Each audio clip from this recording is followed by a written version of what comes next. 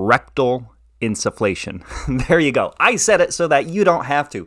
Today we're going to jump into all the cracks and crevices, the nooks and crannies of rectal insufflation. Not a very glamorous subject, but I'm trying to make light of it um, because there's a lot of information. A lot of scientists have said this is one of the most effective ways to do ozone therapy. So, who am I to dismiss it? We're going to jump into what it is, how it affects the body, how it might affect the microbiome, what it does on a systemic level. So, stay tuned because we're going to jump into rectal insufflation. You might be wondering who is this guy that's telling me about rectal insufflation?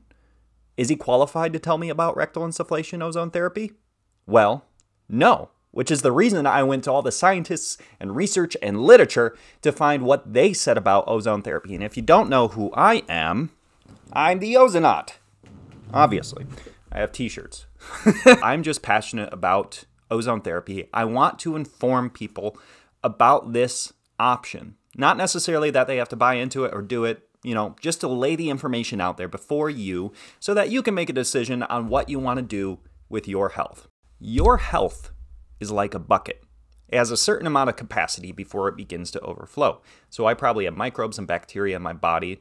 That I'm not sick right now though, because my body is able to handle it. However, if I added in environmental stressors, and metal toxicity, and these things, I would probably start to overflow into the symptoms of chronic disease. So you need ways to empty your bucket out or to prevent it from getting full in the first place. So the important things, diet, exercise, good connection with other people, are super vital. But many scientists are saying ozone therapy may be the medicine of the future because it's very easy to do at home and it takes a good case for preventing chronic disease and also reversing it. So today we're going to cover four different main points about what ozone therapy via rectal insufflation does in the body. The first one being oxygenation, the second one being regulating chronic oxidative stress or just oxidative stress, the third being immune modulation, and the fourth being improving the rheology of the blood. First of all, oxygenation. If I were to ask you what is the most important element to life, you would probably respond with food or water, which makes sense, but, and you know what I'm going to say now. But if I asked you to hold your breath for a minute, you'd probably realize that oxygen is pretty dang important. And oxygenation is a very fundamental process in our body that we need. We can't live without it, obviously. But even if we have a partial reduction in oxygenation, we nurture our tissues to be able to grow things like cancer. And so we want to have a fully oxygenated body.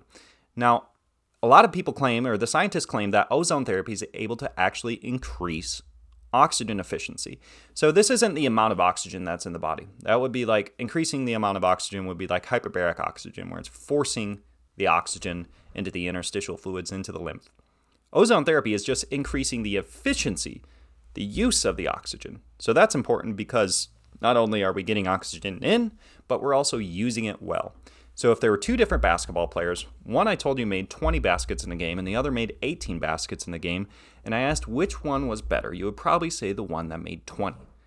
But if I told you that he made 100 baskets or shot 100 baskets that game and made 20, whereas the other one shot 18 baskets and made 18, the guy who made 18 baskets would be better because he's much, much more efficient. And so we want to be efficient with our use of oxygen. We want to be efficient with how our body metabolizes because that's going to give us an increase in energy, reduction of brain fog, more clarity, and an increase in energy, which are three symptoms that a lot of people notice when they do ozone therapy. Now, the second thing is ozone therapy's ability to regulate oxidative stress. Oxidative stress is widely attributed as a cause of aging. As we get older, we have more oxidative stress. As we're chronically ill, we have more oxidative stress.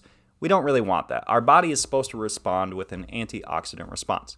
When we go and exercise, we're actually stimulating oxidative stress, but our body should respond with an antioxidant response.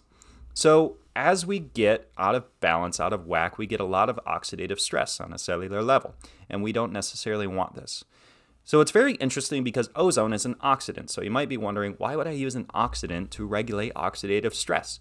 Well, when they send ozone in by rectal insufflation or whatever they do, it actually stimulates a mild acute oxidative stress. So it stimulates a little bit more, but the body is able to recognize that and then it rebalances with an antioxidant response and starts to reverse that chronic oxidative stress that we don't want. So it's a very fascinating subject because it's using basically the, the hair of the dog, so to speak, to treat the disease. The third thing is that ozone therapy claims to be able to modulate the immune system.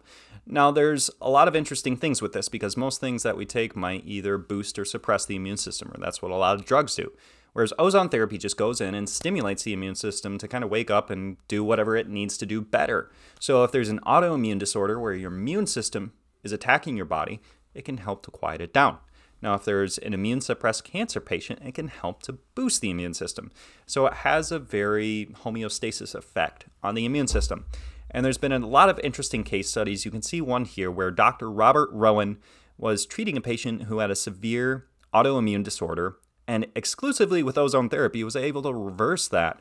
Um, so, very fascinating on its ability to work with the immune system. And here's another one of a patient uh, through AMA Skincare who had a immune suppression. So, that's on the other side of the autoimmune disorder and is able to raise up his immune system to be able to fight that disease. Now, the fourth thing that ozone therapy via rectal insufflation claims to do is actually improve the rheology of the blood. So, the rheology, there's a number of different things. There's like viscosity, there's the ability of the cells to be able to bend and fold to fit through the small capillaries.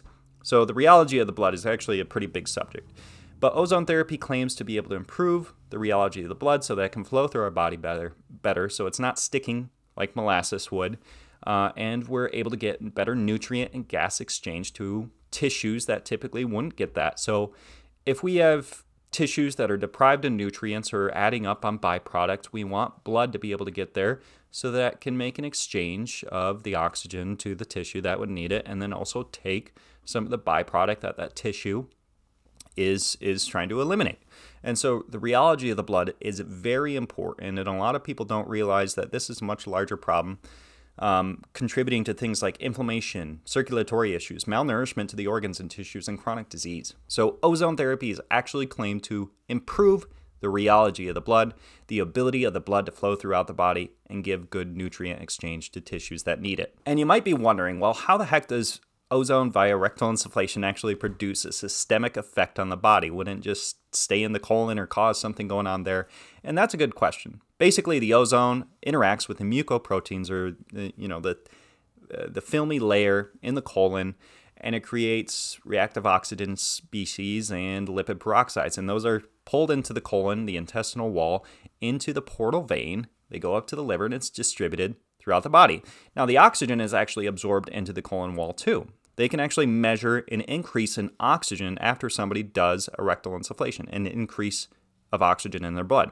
So it's very interesting that it's actually able to absorb into the intestinal wall and be used throughout the entire body. Now, another question that a lot of people have is what is ozone therapy's effect via rectal insufflation on the microbiome? Because according to Dr. Zach Bush, we're supposed to have about 30,000 different bacterial species in our gut for it to be healthy. So we need a lot of those good bacteria for us to be healthy. We have a symbiotic relationship with them. So you wouldn't want to do something that's actually going to harm that because that's only going to make further issues it was interesting when I was looking into this because there was like Dr. Velio Bocci who said it has an equilibrium effect on the colon, which doesn't make sense because you're putting a very strong oxidant into a anaerobic without oxygen environment that a lot of the bacterial species would you would think would not like. Um, but he didn't really cite anything on that, so I had to dive a little bit deeper and see well why does he think this. And what I came across was there was a study done with 34 patients who had dysbiosis, which is an imbalance of the gut biome essentially. And after 90 days of ozone therapy, they actually saw a reversal of dysbiosis using rectal insufflation with ozone therapy. So it makes, I don't understand exactly why um, it would do this because it doesn't make a whole lot of sense in my head.